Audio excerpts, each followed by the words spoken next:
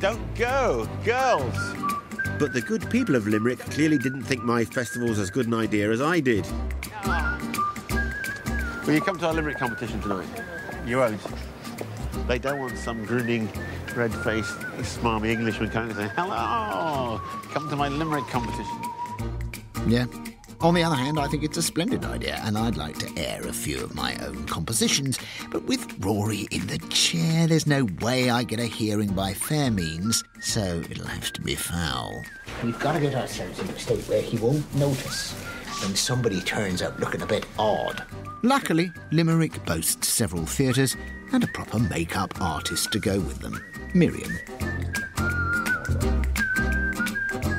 Hello there, Rory. Do you think he'd see? He, do you think he'd smell a rat? Miriam even arrives with her own fat suit. I think we might need to just stitch this up or pin it up at the back. What's Limerick famous for? Rugby. Rugby. Okay, what else is Limerick famous for? Having good nights out and having fun. Okay, I'll give you one more try. It's a third attempt. What is Limerick famous for? Limerick. Oh, for Limerick. Ah, yeah, yeah. Do you know any limericks? No, I don't actually. Come. No, no, not a poet at all. Yeah, I bet you are. No, not at all. Gotta go. Are you sure? Late for work. Hey, t- hey, tonight, 6.30. I'll see you there. Thank you. Come as you are. There once was a fellow called McGrath who wanted a pint and a laugh. In a fit of the giggles, he split down the middles, and he had to make do with a half. Bum bum. I could hear that in another room, you doing your cod Irish accent. The beard, you're not doing. What? What do you think? Yes, I like that. It's just so obviously you. Well, wait a minute. What like Look, that? It looks nothing like not you. It looks, looks like you in a tash. I don't believe it. I've travelled the entire world and I bumped into my old mate, Stephen Fry. Stephen, we're having a Limerick competition tonight and... Stephen? Stephen? A grumpy old git named Rhys Jones was nothing but whinges and moans. Though not very funny, he made shitloads of money. Yet he groans and he groans and he groans. That is so true. What's Limerick most famous for? Um, feuds and What? Feuds and drugs? No, oh, not feuds and drugs. There was a young man from Cork who had an enormous. there was a young man from Nantucket. Now, if you come back at 6.30, I'll tell you the rest of that I know How about that? Mm-hmm. This isn't going to work. You It just isn't going to work. oh, well that'd be a pity. I leave Griff to his ridiculous disguise and head to get a taste of the official poetry festival at the White House. I'm Marty Mulligan from Mullingar, from Mullingar in the middle of Ireland. Desireland. Inspireland. I can confirm there was nothing as tawdry as a limerick. And the little dog laughed to see such fun as the dish ran away with the hot spoon. Instead, I'm treated to a proper evening of literary talent. Ignore me at your peril. Entertain me at the risk of losing your life. Oh, the Harlequin was dancing when they bet the ace of spades against the king of hearts. But you don't want to see this, do you? No, you want to see this. Around the corner, at the Tom Collins pub, Rory's Renegade Limerick Limerick competition had also pulled a huge crowd. Welcome to the Tom Collins pub, the best pub in Ireland. That my Guinness is assured now. Thank you. Is that it? Lovely. Thank you very much indeed. This is the uh, special event. It's the first ever three men in a boat independent Limerick Limerick competition. It is also the last ever three men in a boat independent Limerick Limerick competition. Yes, I've got a false beard and a dirty limerick, and I arrive just as the competition starts.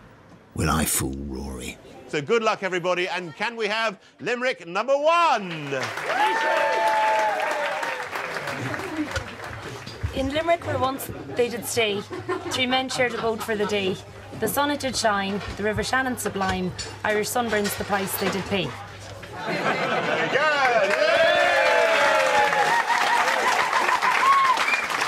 There was an old man from Dingle, spent many a long year single. He looked near and far, in many a bar. Now, He's an alcoholic. Good, good. One of my favourite limericks, which, de- which deliberately deviates from the form, which is quite a nice one, is um, there was a young bard from Japan whose limericks just wouldn't scan. I can manage the lines and the number of rhymes. It's just I try and cram as many words in the last line as I possibly can. or there was a young man called Wyatt whose voice was incredibly quiet, and then one day it faded away, and there was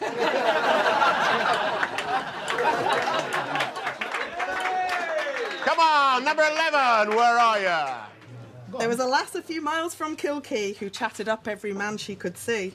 But when it came to a test, she was reckoned the best. Because practice makes perfect, you'll see. That's wonderful. Uh, nice to have an autobiographical uh, limerick. Number 14. Even in a pub full of fat, hairy men, I look utterly improbable. But luckily, not as improbable as Rory. A TV producer of note was convinced he could get crap to float. Jones, McGrath, and Ó Briain polluted the stream, and they called it Three Men in a Boat. We have a winner! oh, he's in? I'd like to know. I'd like to know who that was with that strange Jamaican accent. It was the accent that gave Griff away, and he was immediately disqualified. Dad, well, I certainly fooled some of the people. If not, all of the time. I said to Billy, I said, is that that guy that drives the bus around Limerick? I said, you know, with the grey hair and the sidelocks, it's kind of hard. And he said to me, I don't know, I think it might be that guy. I thought I thought he drove a boat, but said he drives a bus. so I mean, definitely thought it was him. He looked remarkably convincing as an Irishman, you know, with his big. I knew Griff, you know, when he when he actually was that shape, but I thought he looked very good, very very Irish indeed. He looked like the Lord Mayor of Limerick. Hopeless. It was hopeless, even as I stood there. brilliant. I over there, and the uh, and the guy said, "I don't know, I recognise you from somewhere. Are you the? Uh, oh, you're last of the summer wine."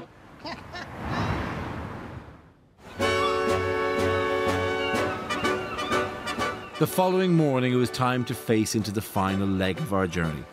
It would be wrong to come this far west and not to take that final leap out into the Atlantic to the Aran Islands. The islands have preserved their culture partly due to their remoteness, and the only problem we have is how to get there. For generations, the journey was made rowing in a curragh. Currachs are traditional fishing boats made from a tarry canvas stretched over a frame.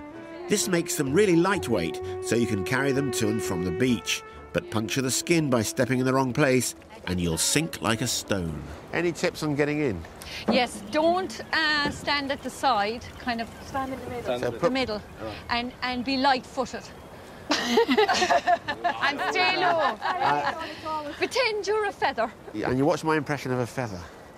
To get some instruction, we've arranged to meet up with local rowers Anne, Elise, and Leah, who are actually the women's champions of Ireland. The basic rowing skills would be um, We haven't even got basic rowing skills. when the oars are out of the water, you lean forward. We are, by now, used to people thinking we're clueless and teaching us the absolute basics. Pull back, bringing the oars into the water, pull back, Push and off the then footstep. pu- yeah, pushing off the footstep, and then forward again, oars out of the water, and then pull back. Doesn't she realise that these three men have rowed the Thames together?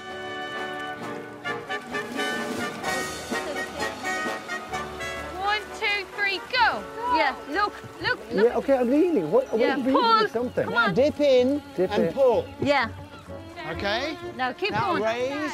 Lean forward, lean forward. You haven't leaned forward. Look at my Yeah. Lean forward.